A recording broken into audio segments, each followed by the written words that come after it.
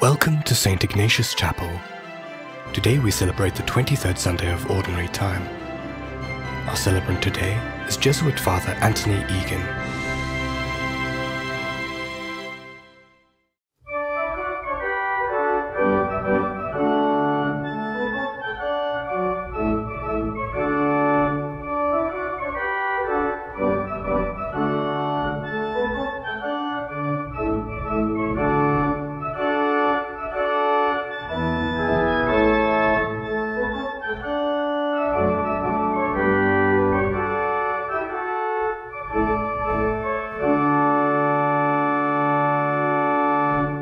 Of the Father, and of the Son, and of the Holy Spirit. Amen. The Lord be with you. And with your spirit.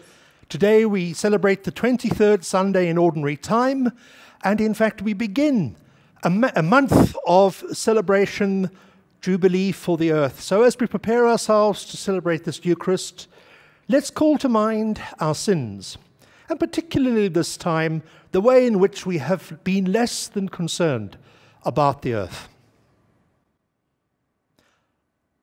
You were sent to heal the contrite of heart. Lord, have mercy.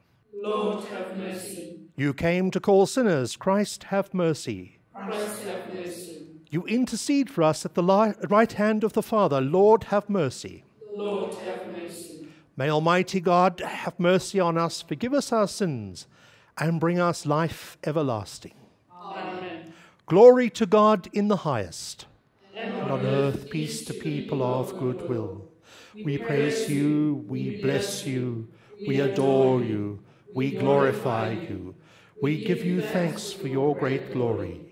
Lord God, heavenly King, God Almighty Father, Lord Jesus Christ, only begotten Son, Lord God, Lamb of God, Son of the Father, you take away the sins of the world, have mercy on us. You take away the sins of the world. Receive our prayer. For who seated at the right hand of the Father, mercy on us. For you alone are the Holy One. You alone are the Lord. You alone are the Most High, Jesus Christ, with the Holy Spirit, in the glory of God the Father. Amen. Let us pray. O God, by whom we are redeemed and receive adoption, look graciously upon your beloved sons and daughters, that those who believe in Christ may receive true freedom and an everlasting inheritance. Through our Lord Jesus Christ, your Son, who lives and reigns with you in the unity of the Holy Spirit, one God for ever and ever. Amen.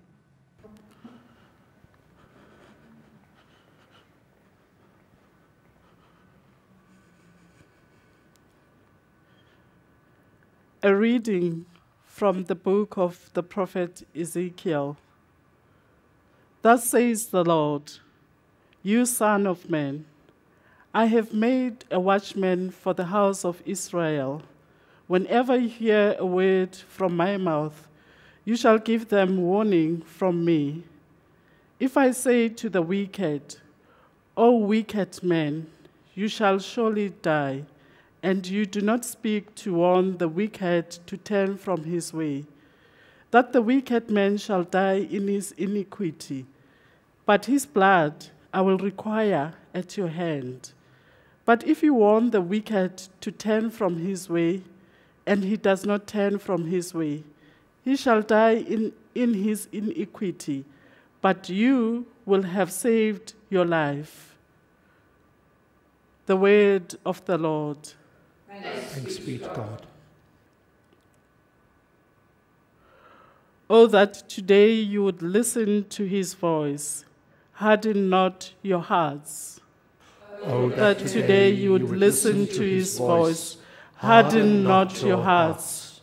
Come, let us ring out our joy to the Lord. Hail the rock who saves us. Let us come into his presence, giving thanks. Let us hail him with a song of praise. Oh, that today you would listen to his voice. Harden not your hearts.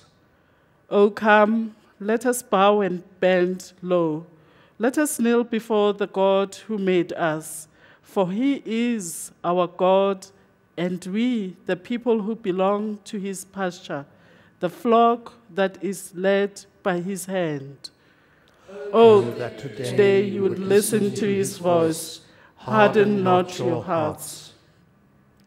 Oh, that today you would listen to his voice, harden not your hearts as at Meribah, as at that day at Massah in the desert, when your forebearers put me to the test, when they tried me, though they saw my work. Oh, that today you would listen to his voice, harden not your hearts.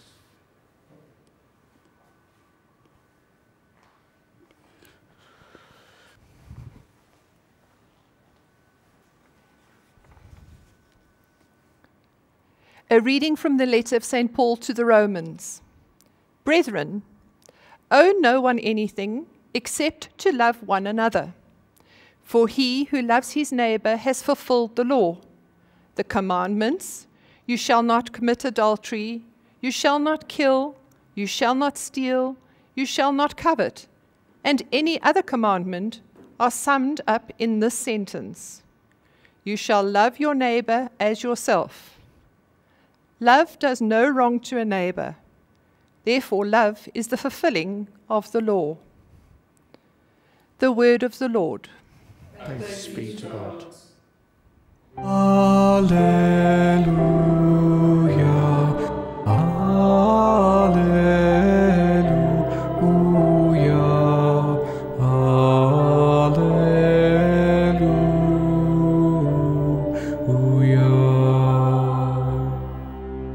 God was in Christ reconciling the world to himself and entrusting to us the message of reconciliation. Alleluia. Alleluia. Alleluia.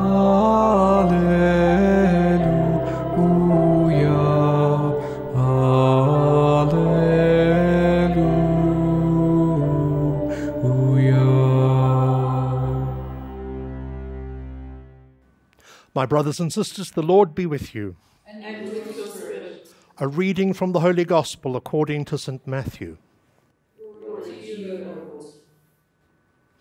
At that time, Jesus said to his disciples, If your brother sins against you, go and tell him his fault between you and him alone. If he listens to you, you have gained your brother. But if he does not listen, take one or two others along with you, that every word may be confirmed by the evidence of two or three witnesses. If he refuses to listen to them, tell it to the church. And if he refuses to listen even to the church, let him be to you as a Gentile and a tax collector. Truly I say to you, whatever you bind on earth shall be bound in heaven, and whatever you loose on earth shall be loosed in heaven.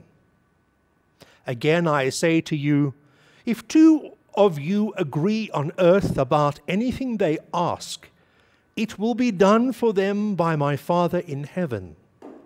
For where two or three are gathered in my name, there am I in the midst of them.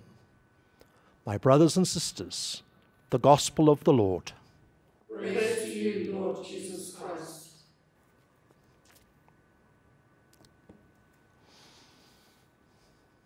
This month, as I suggested at the beginning of Mass, from the 1st of September to the 4th of October, Christians around the world are called to celebrate a Jubilee for the earth. The idea of Jubilee comes from Leviticus 25:10. I quote, "And you shall consecrate the 50th year, and you shall proclaim liberty throughout the land to all its inhabitants. It shall be a jubilee for you. You shall return, every one of you, to your property, and every one of you to your family.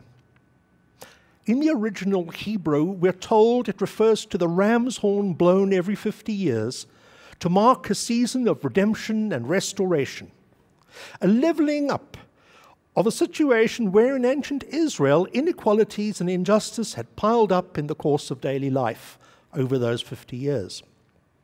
Debts would be forgiven, and even the land would be given the opportunity to rest and renew itself. Now, that, of course, was the theory. Many biblical scholars even wonder whether it was ever put into practice. Now, this year, Christians everywhere, across our many different traditions, are called to apply the principle of Jubilee to the earth, to reconsider how we use, and more often not abuse, the earth, to take steps to change our ways, to find ways of living more sustainably, and to waste less of the earth's resources.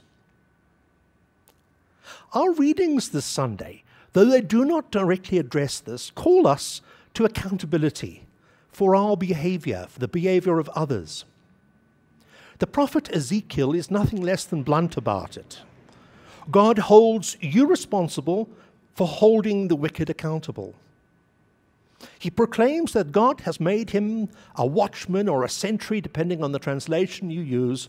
In short, a kind of guard over the people, whose task is to engage with the house of Israel. He is called to speak out. Failure to do so will make him responsible for the harm that will follow. Silence means consent. Consent implies approval of whatever harm is done. Our not calling others and ourselves to account for the harms we see in the world, be that the misuse of power, the exploitation of the poor, unjust laws, or the destruction of the earth, our common home, means that we consent to, and I'd go further and say approve of such evils. We cannot be silent. Now, in Matthew's Gospel, Jesus offers us a process by which we speak up and speak out. First, communicate your concerns to the one doing harm. Second, do this with a few other people, members of the church, as we heard in, in the readings. If this fails, report the offender to the community. Echoing Paul's reminder in Romans that the essential, that the essence of all law and morality is the command to love. Note how it works. Foremost, it's rooted in respect for the offender and in the belief that rather than being fundamentally evil, that person is misguided, potentially open to conversion that could lead to a change in their life. Now, only when the person shows no sign of change does one bring in the wider community that one or two people or the wider community. If at that point they still refuse to change, Jesus says they should be treated like tax collectors and Gentiles. Now, here's a paradox if you think about it. Does it mean, as most people would have us think, and as most people probably understood in Jesus' time, ostracism, exclusion from the community, even perhaps some kind of punishment? Or does it mean, if we look at his own practice, forgiveness and inclusion? Now, I think it can mean both. Those who refuse to change are excluded because, in refusing to listen to pleas for conversion, they exclude themselves from the community. But just as repentant tax collectors and Gentiles open to his word were included in Jesus' community, there is always the possibility with conversion of reincorporation. Now, putting it on an ecological level, I wonder how many of you are thinking how this present coronavirus might be an expression of this later dynamic. Think about it. For decades, we have lived on borrowed time gleefully and unthinkingly exploiting the earth, imagining that we are masters of the world, immune from the implications of our misuse of the environment.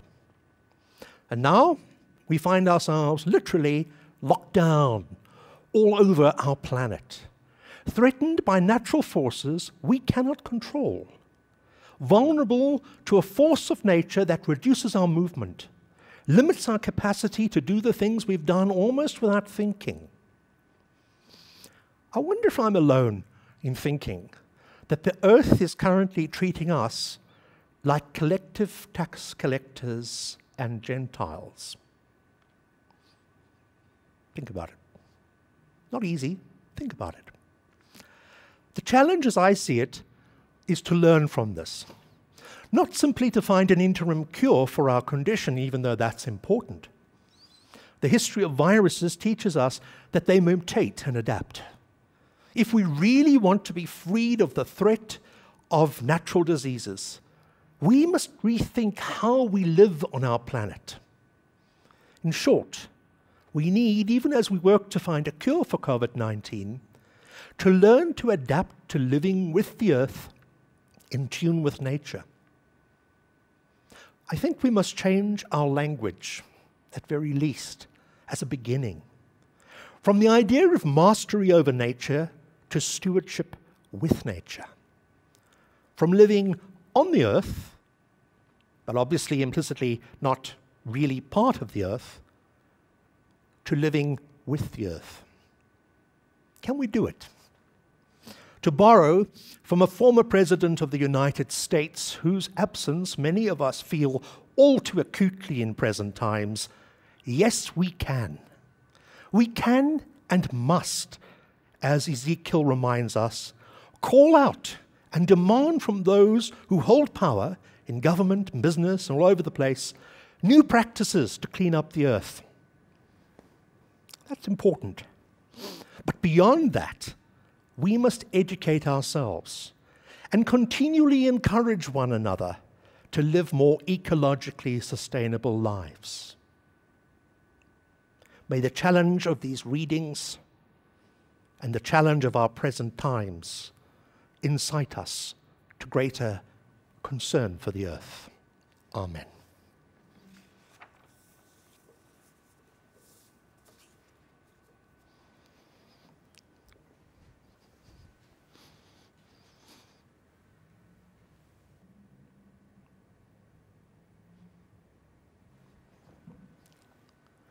Let us now, as a community of communities spread across the world, profess the faith we all share by saying together our creed. I believe in one God, the Father Almighty, maker of heaven and earth, of all things visible and invisible. I believe in one Lord Jesus Christ, only begotten Son of God born with the Father before all ages, God from God, light from light, true God from true God, begotten not made, consubstantial with the Father. Him all things were made. For us and for our salvation, he came down from heaven, and by the Holy Spirit was incarnate to the Virgin Mary, and became a man for our sake he was crucified under Pontius Pilate. He suffered death and was buried. And rose again from the dead, in accordance with the Scriptures. He ascended into heaven and is seated at the right hand of God. He will come again in glory to judge the living and the dead. And his kingdom will have no end. I believe in the Holy Spirit, the Lord, the giver of life who proceeds from the Father and the Son, who with Father and the Son is adored and glorified, who has spoken through the prophets. I believe in one holy Catholic and Apostolic Church. I confess one baptism for the forgiveness of sins, and I look forward to the resurrection of the dead and life in the world to come. Amen. Having professed the faith we all share, let us share in our petitions this day.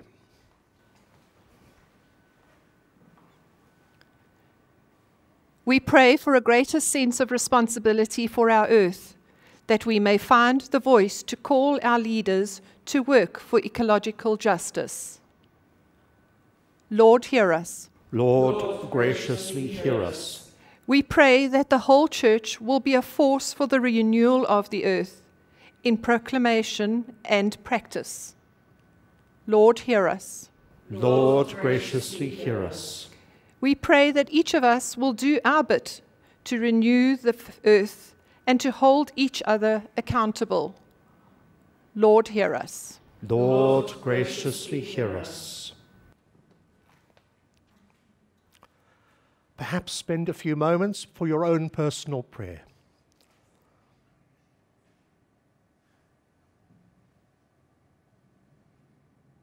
Loving God, our Creator, receive the prayers we make this day. Answer them according to your will. We make all these prayers in the name of Christ the Lord.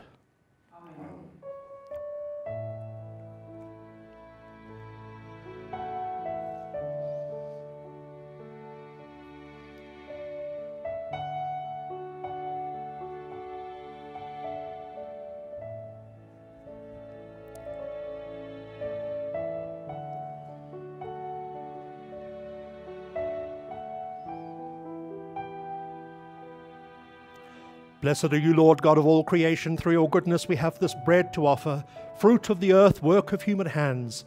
It will become for us the bread of life. By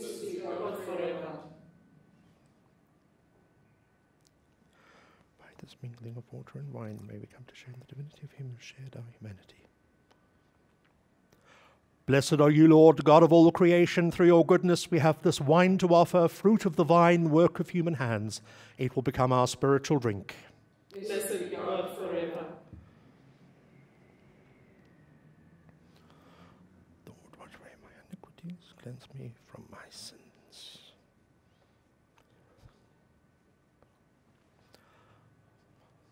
Pray, my brothers and sisters, that my sacrifice and yours may be acceptable to God, our Almighty Father. May the Lord accept the sacrifice at our hands for the praise and glory of God's name, for our good and the good of all God's holy church. O God, who give us the gift of true prayer and of peace, graciously grant that through this offering we may do fitting homage to your divine majesty, and by partaking of the sacred mystery, we may be faithfully united in mind and heart through Christ our Lord. Amen.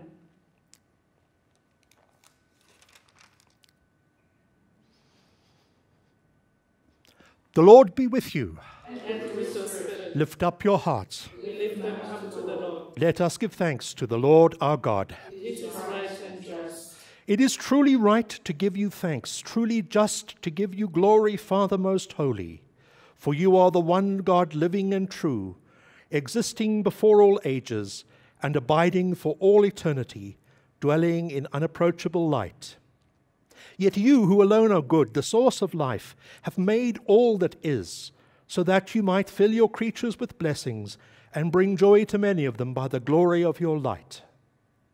And so, in your presence are countless hosts of angels who serve you day and night, and gazing upon the glory of your face, glorify you without ceasing.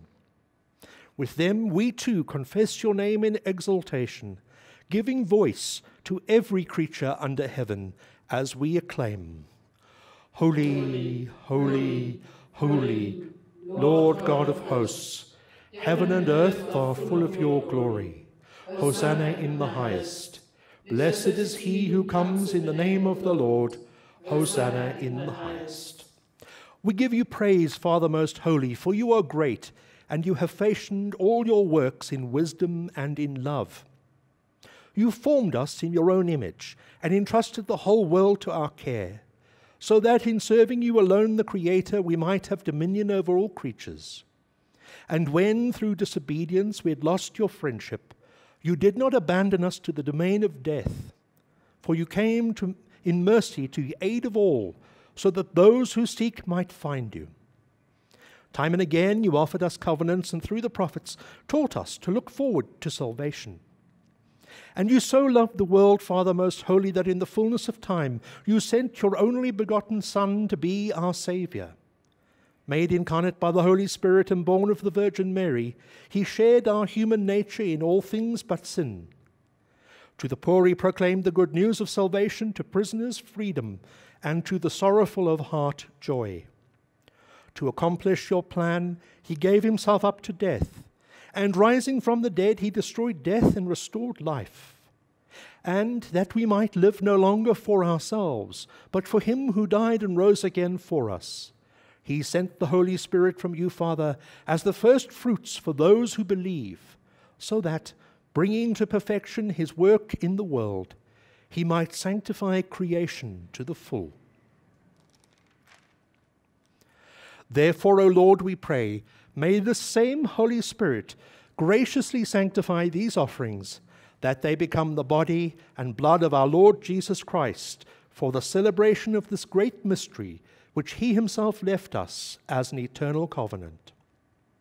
For when the hour had come for him to be glorified by you, Father most holy, having loved his own who were in the world, he loved them to the end. And while they were at supper, he took bread, blessed it, and broke it, and gave it to the disciples, saying, Take this, all of you, and eat of it, for this is my body which will be given up for you.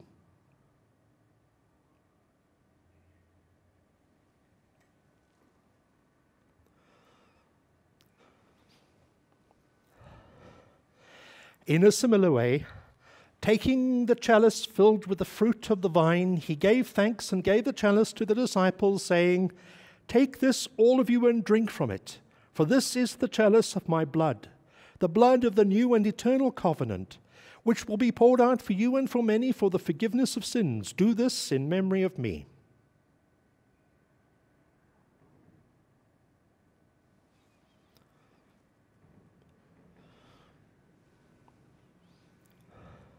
The mystery of faith. When we eat this bread and drink this cup, we proclaim your death, O Lord, until you come again. Therefore, O Lord, as we now celebrate the memorial of our redemption, we remember Christ's death and his descent to the realm of the dead. We proclaim his resurrection and his ascension to your right hand. And as we await his coming in glory, we offer you his body and blood the sacrifice acceptable to you, which brings salvation to the whole world. Look, O Lord, upon the sacrifice which you yourself have provided for your church, and grant in your loving kindness to all who partake of this one bread and one chalice, that gathered into one body by the Holy Spirit, they may truly become a living sacrifice in Christ to the praise of your glory. Therefore, Lord, remember now all for whom we offer this sacrifice, especially your servant Francis, our Pope, Buti, our Archbishop, Duncan, his auxiliary, the whole order of bishops, all the clergy, those who take part in this offering, those gathered here before you, your entire people, and all who seek you with a sincere heart. Remember also those who have died in the peace of your Christ, and all the dead, whose faith you alone have known to all of us, your children, grant, O merciful Father, that we may enter into a heavenly inheritance with the Blessed Virgin Mary, Mother of God, with St. Joseph, her spouse, and with your apostles and saints in your kingdom. There, with the whole of creation, freed from the corruption of sin and death, may we glorify you through Christ our Lord, through whom you bestow on the world all that is good. through him, and with him, and in him. O God, Almighty Father, in the unity of the Holy Spirit, all glory and honor is yours forever and ever. Amen.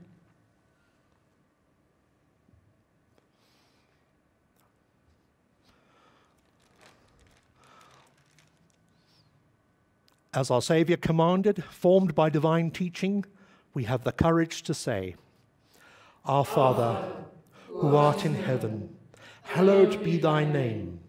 Thy kingdom come, thy will be done on earth as it is in heaven. Give us this day our daily bread, and forgive us our trespasses, as we forgive those who trespass against us. And lead us not into temptation, but deliver us from evil. Deliver us, Lord, we pray, from every evil. Graciously grant peace in our days that by the help of your mercy we may be always free from sin and safe from all distress, as we await the blessed hope and the coming of our Saviour, Jesus Christ. For the kingdom, the power, and the glory are yours, now and forever. Lord Jesus Christ, who said to your apostles, Peace I leave you, my peace I give you, look not on our sins, but on the faith of your church, and graciously grant her peace and unity in accordance with your will, who live and reign for ever and ever. Amen. The peace of the Lord be with you. And with your spirit.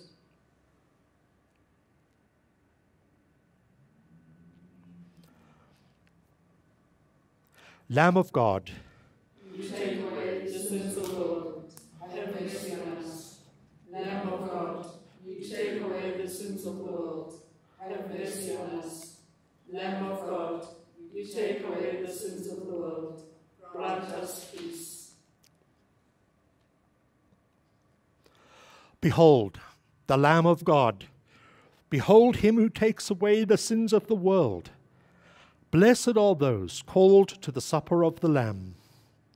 Lord, I am not worthy that you enter my but only say the word, and my soul shall be healed. May the body and the blood of Christ bring us life everlasting.